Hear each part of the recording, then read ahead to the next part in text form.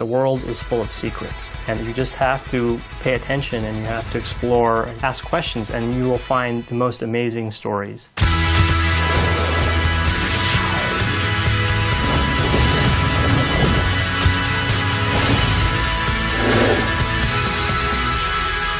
My name is Anand Varma, and I'm a photographer. I'm interested in using a camera to help tell complex science stories. Taking images of things that are hard for us to perceive with our own eyes allows you to become intimate with a subject. It freezes this moment and allows you to study and understand it in a way that other forms of media don't allow you to do.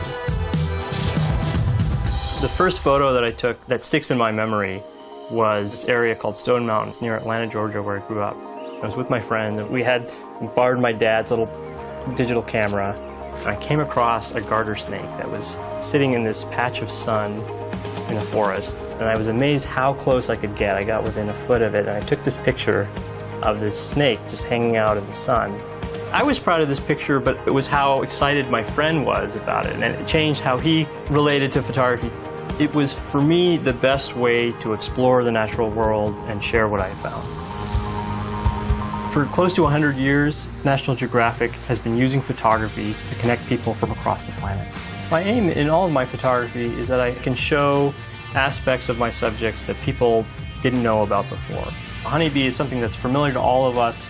Through my photography, people can see in a new way and say, oh, here's this thing that I thought I knew, but here's something else that I know about it seeing these details in the image, but you couldn't even see in your hand, you couldn't see under a microscope.